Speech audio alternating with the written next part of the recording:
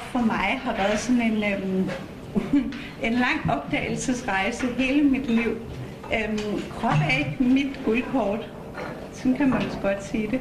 Så for mig har, har det her med krop, det har ligesom været, hvis I forestiller jer øh, en bil, så er det sådan en, en treårig, der sidder på bagsædet. Og hele tiden sådan popper op med alt muligt. Fordi jeg var så optaget af at præstere intellektuelt, så havde jeg faktisk fuldstændig mistet lysten til, eller hvad hedder det, mistet kontakten til, hvad jeg havde lyst til. Jeg kunne ikke mærke det.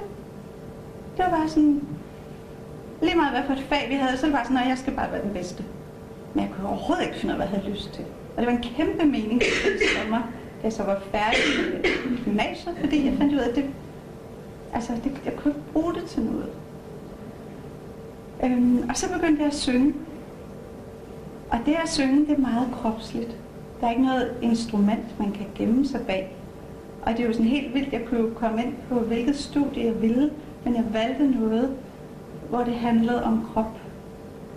Måske fordi jeg har, har fornemmet, at, at der var meget healing i det, når man synger. Det er enormt fysisk, det er sådan meget muskulært. Det, det er muskelarbejde, det er derfor, at, at klassiske sanger kan synge så kraftigt. Det, det er muskler. Øhm, og det er værtrækning.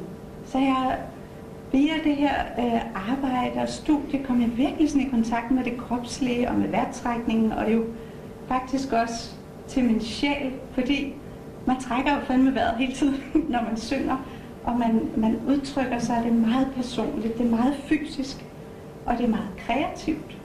Så det bliver også sådan en måde at få noget mere skønhed ind, som også er en værdi for mig. Det havde jeg bare undertrykt helt vildt. Men, men så tror jeg, at det der sang, der var alligevel, der var sgu noget, noget healing og noget skønhed der. Men det var ikke... Um, altså det var ikke fordi, det var min essens. Det er det ikke. Jeg sagde altid, at det er sådan mit arbejde. Jeg sagde, det var det, var det jeg har mindst ulyst til. Det var sådan lidt, lidt op ad bakken.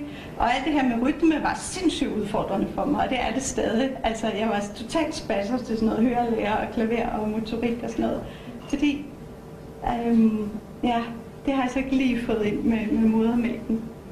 Øhm, og så som jeg har delt med så, så blev min øh, datter Anastasia var jo syg meget, hjerneskadet.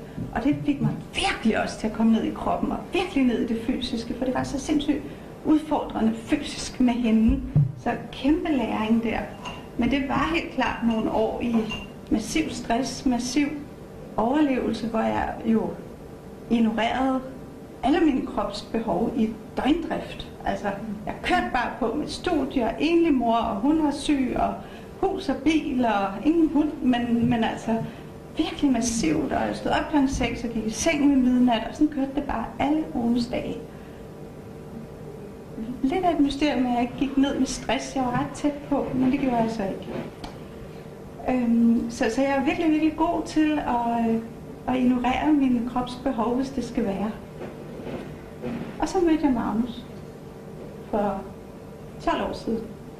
Og, øhm, og det har virkelig været der, hvor jeg sådan har begyndt at rejse tilbage til, til en helhed.